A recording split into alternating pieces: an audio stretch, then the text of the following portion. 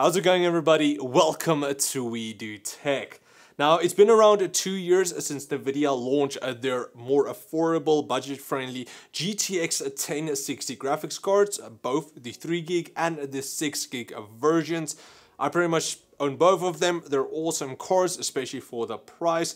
But how do they stack up here now in 2019? Because we already saw some of NVIDIA's newer RTX cards being released along with the RTX 2060 but that already is quite expensive so I can't really classify that as more of a affordable budget card but there's rumors of a new GTX 1660 Ti coming out. A weird name, so maybe that'll be able to actually replace these cards but that also depends on how much it's actually going to cost. So in this video, I wanted to benchmark both the 3 gig and the 6 gig GTX 1060s against each other and see if they're actually still worth it in 2019 if you wanted to buy one now. If you already own one, they're still pretty decent cards. But now, of course, being that they're already two years old, you can get them new if you wanted to, or you can pick them up second hand for a much better price.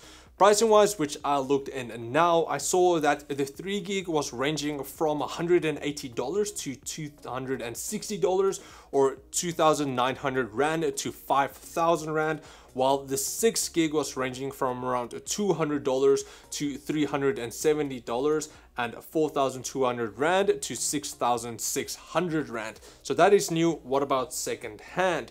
Well, mostly here in South Africa, I saw that they were ranging between a 2,500 Rand to 3,500 Rand.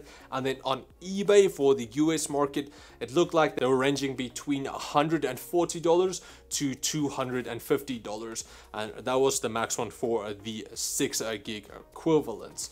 So pricing for these GPUs, didn't really go down much new wise compared to when I actually picked up my 1060 cards. So that is a bit of a bummer. Uh, second hand wise, they're a lot cheaper. You can get them for next to nothing these days. Uh, that's why I haven't really even sold my cards because I'm not going to get anything for them. So second hand, it's pretty good to pick one up.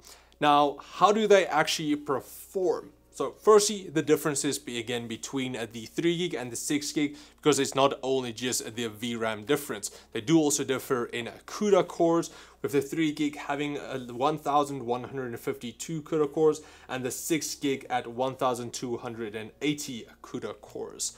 So when getting into the benchmarks, we will see that some games prefer more VRAM, which the 1060 of course will be much better in, and some games prefer a more CUDA cores or higher CUDA core speeds, which again the 1060 will be faster in, but we'll see actually how much. Also, just some random information you guys wanted to know. Uh, you don't only get these two cores, but the brands, uh, but you do get like the 3 gig and the 6 gig, which is the standard ones. Then you also get a 5 gig version for the Asian uh, like gaming cafe market. You can't really buy them, maybe on like AliExpress or so on. And then you also get one with a GDDR5X memory compared to the standard GDDR5. So that's just some information I want to give you guys. But now let us get into how these cards actually perform and should you rather pay a bit more and get the 6 gig versus the 3 gig version.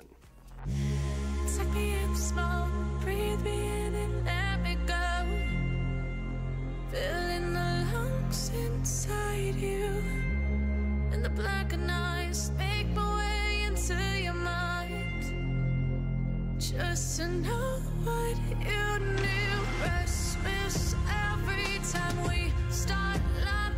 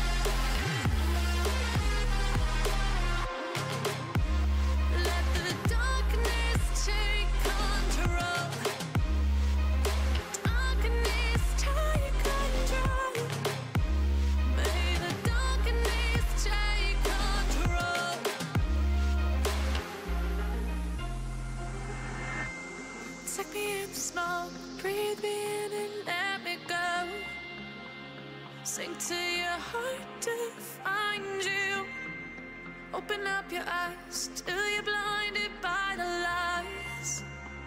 So you can see what you do. Restless every time we start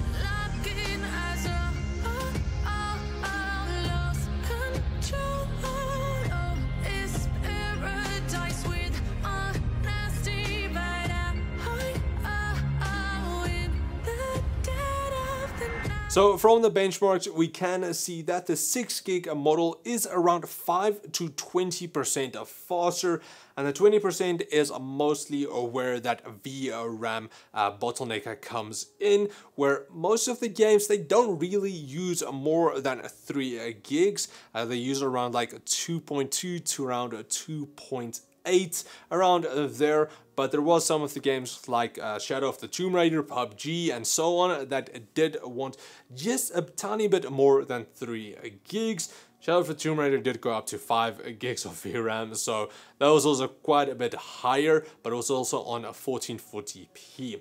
So that is mostly where we saw the bigger differences, where the VRAM just bottled in completely. So then just in conclusion, the difference between these cards aren't really that massive.